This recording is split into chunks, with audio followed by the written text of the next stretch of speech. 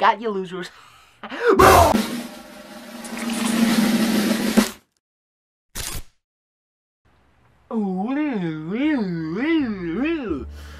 Howdy ho, crappy fans! It's me, Crappy Films, world-renowned YouTuber, and now film critic, baby. Let's go, baby. Let's go. So, welcome back, everyone. Sorry, I gotta address some things real quick. I am so.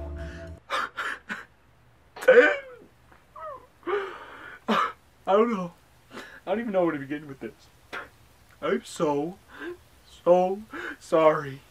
I missed a week and I said I was going to be strict and I was going to upload weekly videos, schedule a month.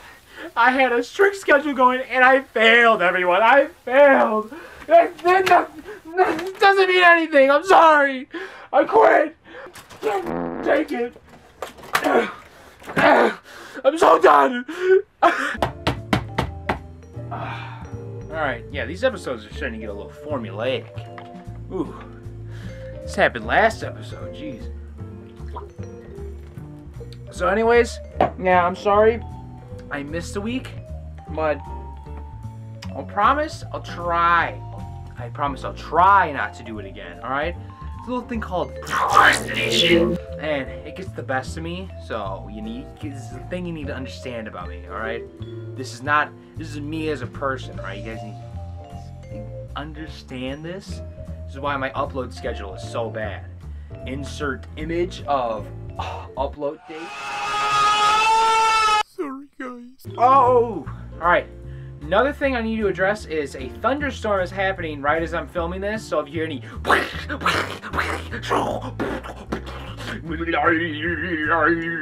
and I get struck by lightning, you just understand that I can't do anything to help it, alright? Mother Nature wants to be right now and I can't help it. There's nothing I can do. I am no I'm I'm a god gamer, but I ain't a god.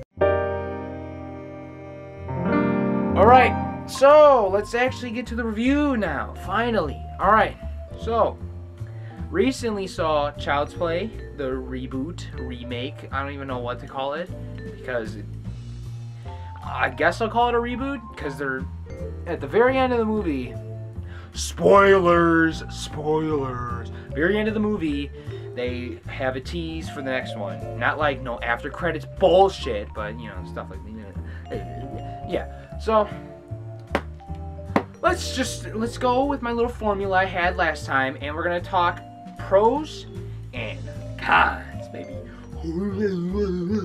Let's begin with pros. Here we go. So, I really, really like the, the style of this movie. It's like this nasty, gross ass, grungy, dirty looking movie. Everything in the movie just looks so dirty. Uh, I'll show a clip if I can find it. Maybe, I don't know about a clip, but an image to give you a general idea. There's this scene in the movie. I'll put it.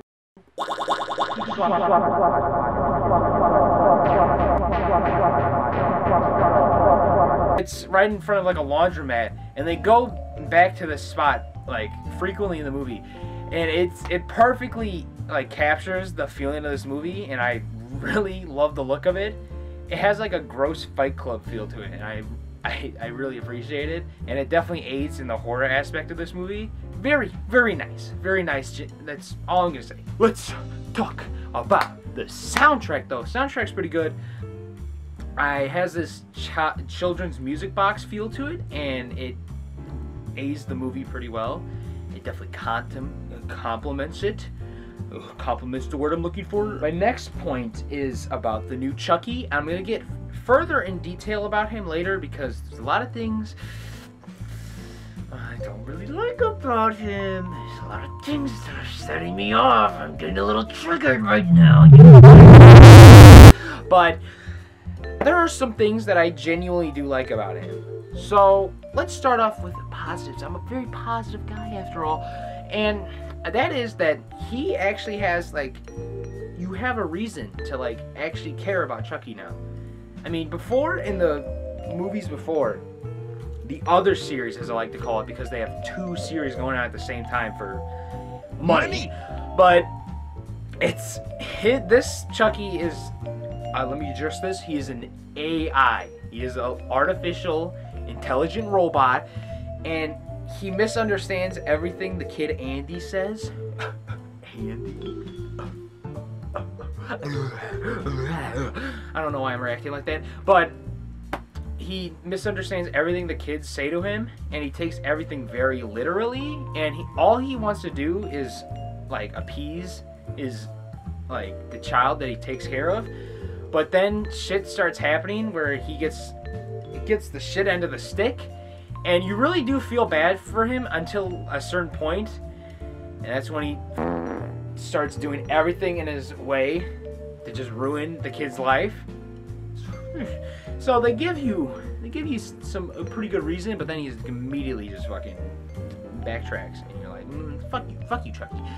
All right, another thing I really liked about the movie, and I, I'm a little, I'm a little skeptical if I'm correct about. That. I don't know, not 100% sure, but from what it looks like to me, I think they're using an actual like animatronic puppet. Alrighty, gamers. So I looked into it, and it turns out it actually is a legit animatronic prop.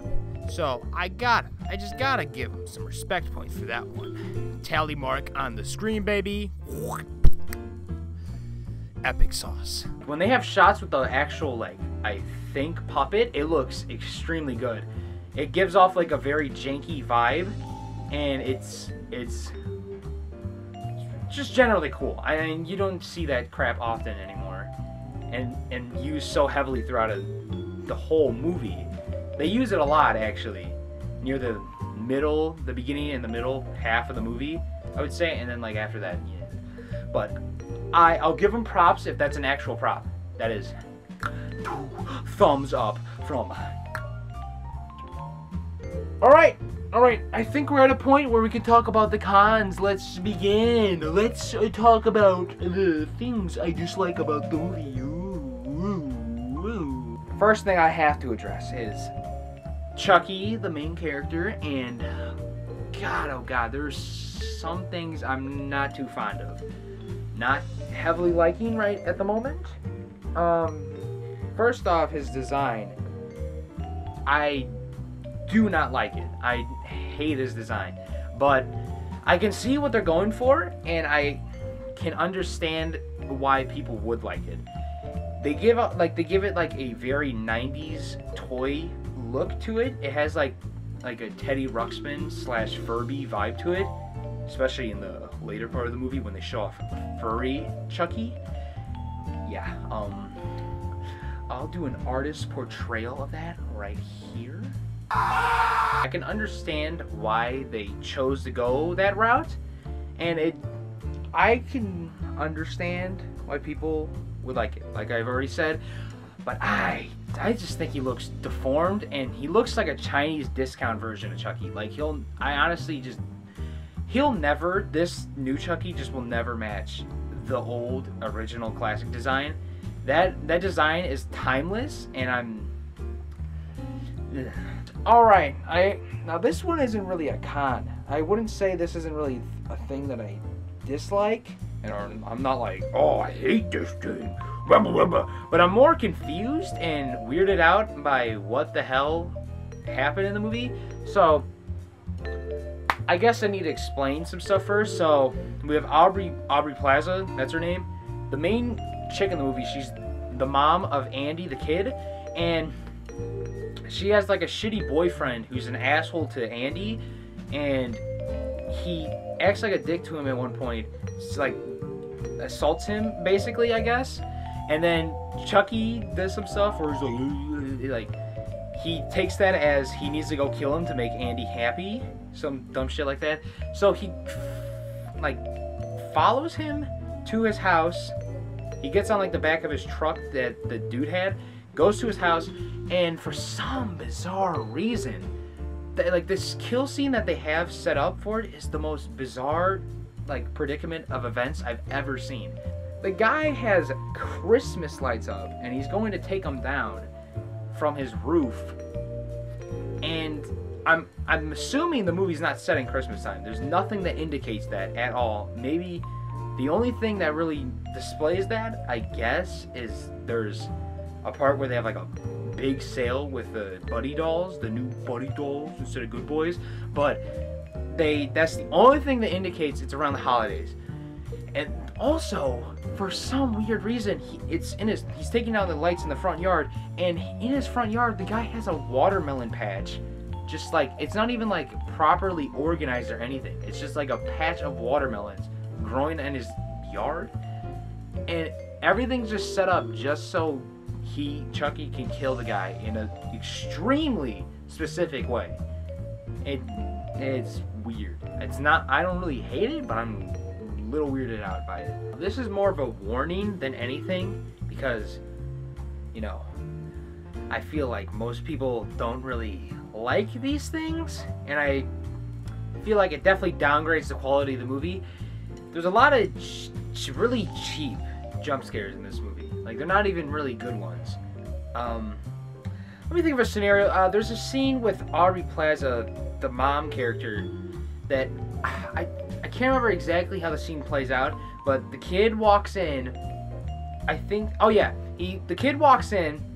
He sees the Chucky doll sitting on a table, and you just stare at it for like a solid ten seconds, and then the mom walks in and, it's like, and it does this loud noise, and it's like that's so stupid. I hate that crap.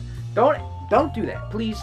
I'm like any studios, please don't do that. I mean, there are people who like that, and I can understand why people like that stuff because it gives the experience as if it's like a haunted house attraction.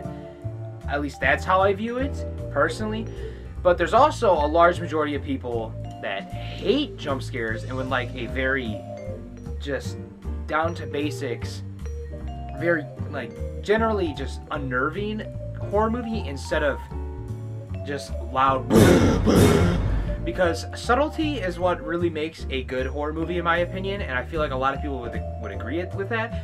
So there's a large divide between these two groups, and that's going to lead a large divide in audience members for this movie. It's the same thing with the It movie. A lot of the new recent movies, especially the Conjuring movies. Oh my god.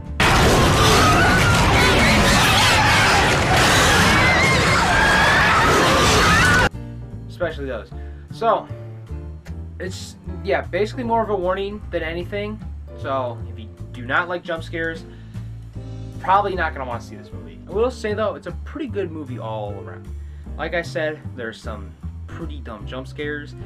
And if you're not a fan of jump scares and you feel like it's cheap, then you know that may be something that turns you off. But either way, either way, yeah, I I'd say I recommend it to most people. So yeah. Yeah, I feel like that's that's a wrap, crappy fans. Let's tell me what you want to talk about next, and uh, leave in the comments what you think. I was on a very loose script this time, and I'm sorry if a lot of my critiques were a lot of shit because, you know, I'm a lot of shit. My name's Crappy Films after all. I'm literal shit.